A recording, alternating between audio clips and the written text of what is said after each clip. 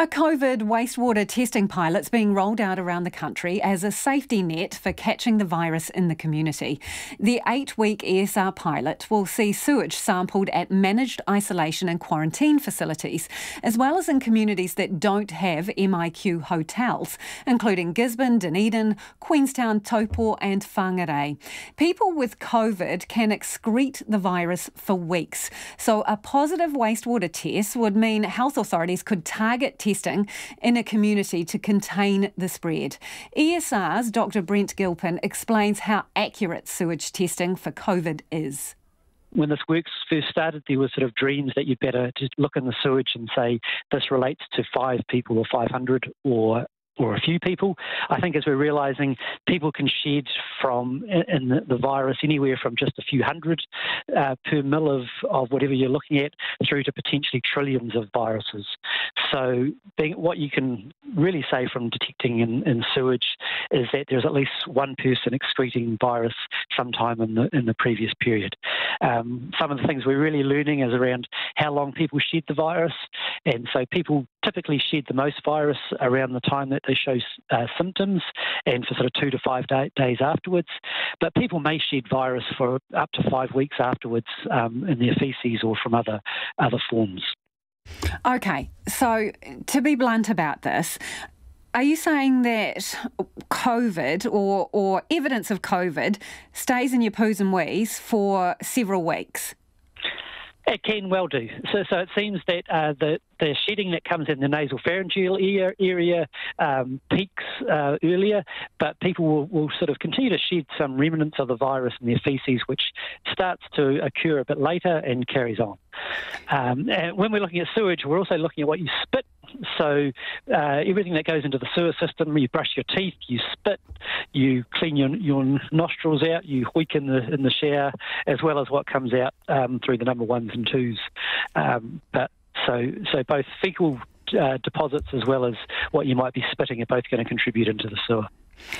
So if you get a positive test, you know that someone's got it, but is there any chance that testing will develop to the point where you can say, uh, there's this level of evidence, so therefore there are two, three, four, or five people who have this in the area we've sampled from?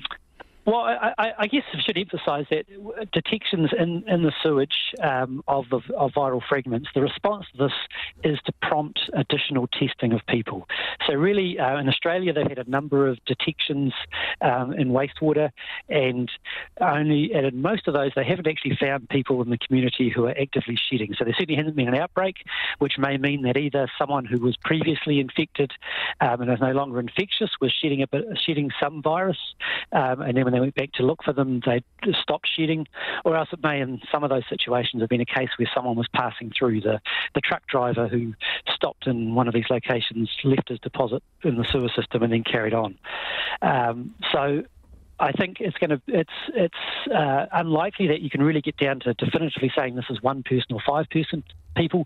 What you, what I think we will be able to say is that there's someone either someone or a number of people who are um, like more likely to be infectious based on the uh, levels of virus present. And then the other bit that we're really looking to develop is the genotyping approach. So being able to take what we detect in the sewage and match it up with the known known strains or types of, of the SARS-CoV-2 virus, which may enable us to say, well, that matches up with a known cluster of cases that we have, or this is something unexpected and different to what we, have uh, seen before. But your, the testing you are doing is so sensitive because the volume of material that you're talking about here is not small in terms of the waste. So you are able to detect a, a, potentially a single person who is infected. Yes, yes. Um, and the, the, it's, I mean, it's amazing when you think about the hundreds of millions of litres of sewage a day.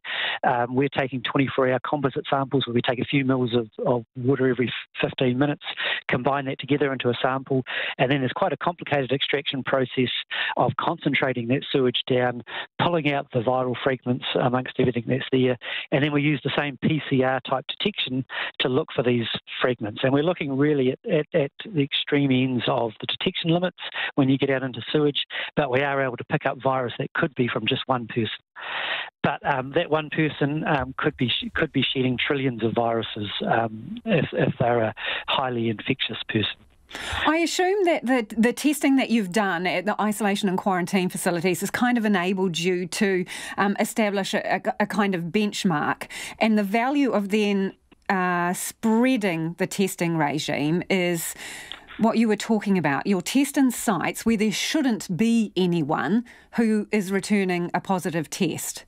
Yes, yeah, and I mean we're very confident in, in the method uh, as, as it's established, and there's a significant amount of development improvement work that can carry on, but it is at a, at a point where we can apply it as it is, and I, and we believe it's going to provide value if there was an unexpected um, outbreak in the community, and even and, and even if the chances of picking it up are, are, are certainly not 100% and maybe you know even less than 50% because of the severe impact of um, of an outbreak, it's worth uh, deploying that now um, and having this as a tool that can be uh, added to the arsenal in New Zealand.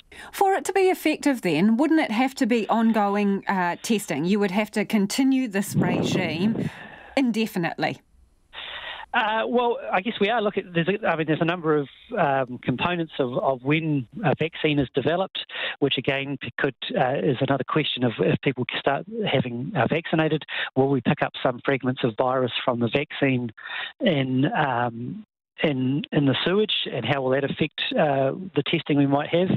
Um, it's, uh, this is a tool that could be used not just for this um, pandemic, but for, for, future ones for monitoring what's going on. Um, but we're certainly clearly not going to test all billion litres of sewage that are produced in New Zealand every day. And that was Dr. Brent Gilpin from ESR. After the eight week pilot, recommendations for ongoing surveillance will go to the government, and any community positives from the wastewater testing during the study will be reported to the Ministry of Health immediately.